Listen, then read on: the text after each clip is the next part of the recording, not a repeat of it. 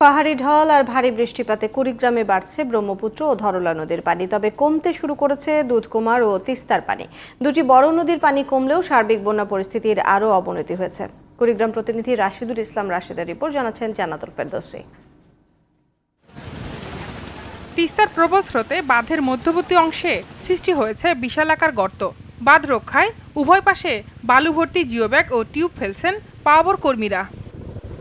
তিস্তার পানি তীব্র স্রোতে গত সাতাশ সেপ্টেম্বর রাতে রাজারহাট উপজেলার ঘড়িয়ালডাঙ্গা ইউনিয়নের বুড়িরহাটে বাম তীরের একটি স্পারে বাঁধের একাধিক স্থানে ভাঙন দেখা দেয়।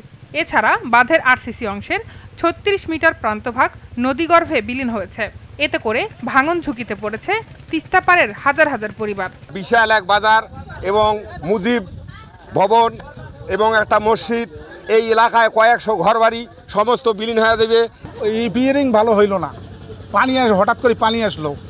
পানি আসাতে ওইটা পিয়ারিং না করার কারণে এইটা মনে করো ভাঙিয়ে পড়ে গেল। হাজার হাজার কোটি টাকা দিবেন এই এই তিস্তা নদী পিছনে খরচ করবেন আছে কে নদীতে ড্রেজিং করলে হয় না? খনন করলে হয় না? কুড়িগ্রাম পানি উন্নয়ন বোর্ড পাওবর নিয়ন্ত্রণ কক্ষ জানায় সোমবার দুপুরে তিস্তার পানি তিন সেন্টিমিটার কমে বিপদসীমার নয় সেন্টিমিটার উপর দিয়ে প্রবাহিত হচ্ছে। কুড়িগ্রাম পানি উন্নয়ন বোর্ডের নির্বাহী প্রকৌশলী আবদুল্লা আল মামুন জানান বাঁধটি ঝুঁকিমুক্ত করতে সর্বোচ্চ চেষ্টা করছে তারা। আমরা এর মধ্যবর্তী স্থানে সাড়ে চার কিলোমিটার জায়গায় নদী ভাঙ্গন রোধে কাজ করছি। এছাড়াও যেখানে বন্যা নিয়ন্ত্রণ বাঁধ হুমকিতে রয়েছে আমরা সেসব জায়গায় প্রতিরক্ষা ব্যবস্থা গ্রহণ করছি। আমাদের পর্যাপ্ত জিও ব্যাগ জিও টিউব এবং অন্যান্য সরঞ্জামাদি মজুদ আছে। জান্নাতে ফেরদৌসি জিটিভি নিউজ।